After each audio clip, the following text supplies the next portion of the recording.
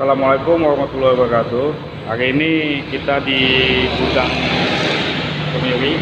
Ini kita pengetesan untuk mesin ayakan.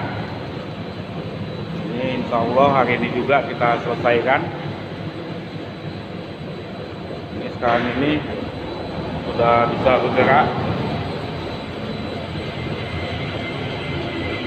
Jadi untuk mesin ayakan kita gunakan impenter juga jadi tinggal berapa kebutuhan kencangan yang diperlukan.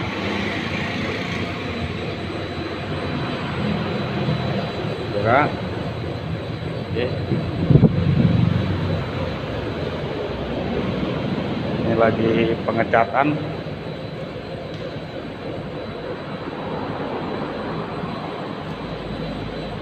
Jadi insya Allah sore ini sudah bisa dioperasikan. Sudah maksimal.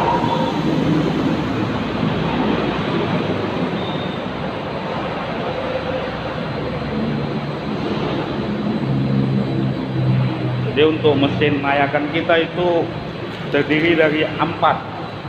Empat saringan. Ini untuk bulat keping menir dan abu jadi untuk jarak ayakan ini kurang lebih 7 meter dan bidangnya 1 meter. Dan digunakan stainless untuk uh, bulatnya